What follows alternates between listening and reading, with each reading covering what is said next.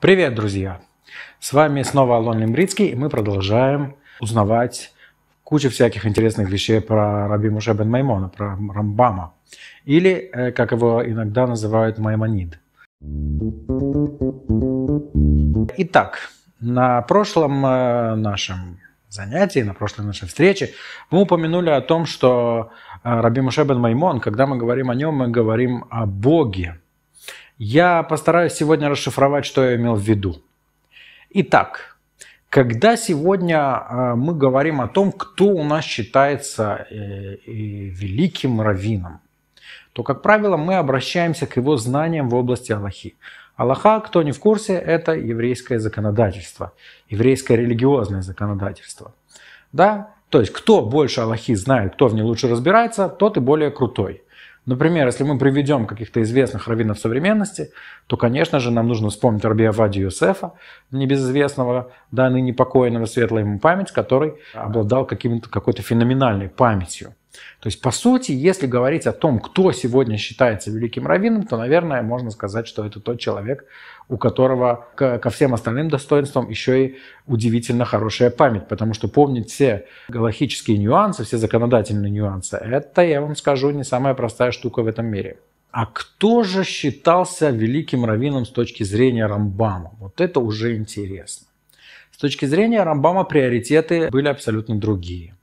Если сегодня, как я уже сказал, главный приоритет – это изучение практической законодательной части Торы, и кто знает больше, тот и молодец, то с точки зрения Рамбама главная задача религии и самый важный аспект изучения Торы – это теология, это наука о Боге.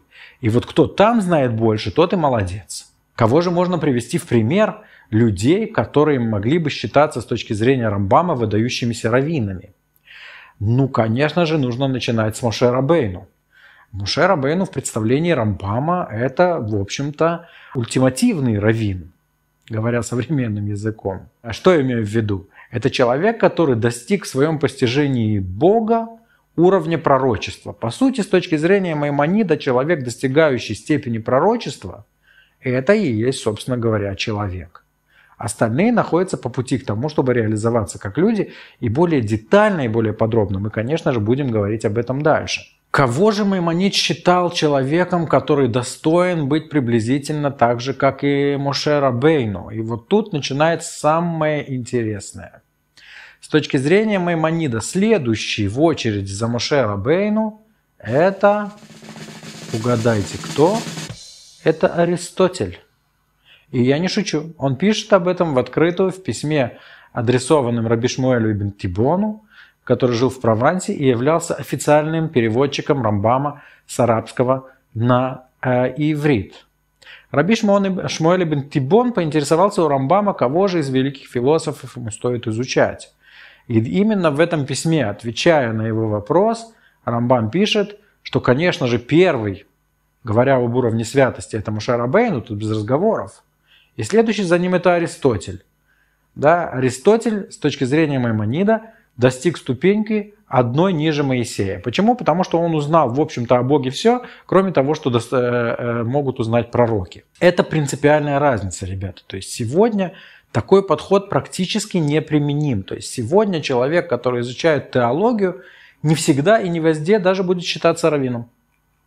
А вот человек, который знает много Аллахи, тот обязательно – да, то есть человек, который сведущ в законодательстве, а не в философии. С точки зрения Маймонида приоритеты, как я уже сказал, должны быть другие. С его точки зрения Аллаха изучается до определенного возраста, 12, 13 лет, 14.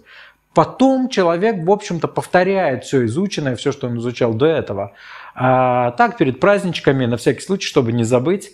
А вот основную часть своей жизни он посвящает изучению теологии, постижения Бога, ибо в этом проявляется наша человеческая сущность.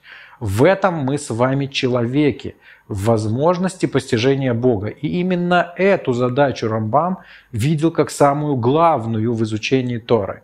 И поэтому э, э, он создает внушительнейший труд по Аллахе, который, по его мнению, должен свести к минимуму какие-то чрезмерные студии с точки зрения Галахи, и с другой стороны, он пишет уникальнейшую книгу, потрясающую, о которой мы будем говорить с вами на следующих встречах.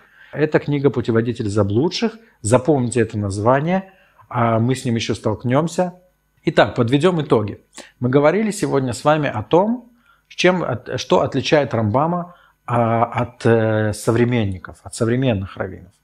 И сказали, что современ, среди современных раввинов более великим считается тот, кто более сведущ в галахических нюансах. С точки зрения Маймонида это не так. С точки зрения Маймонида более великий – это тот, кто больше знает о Боге.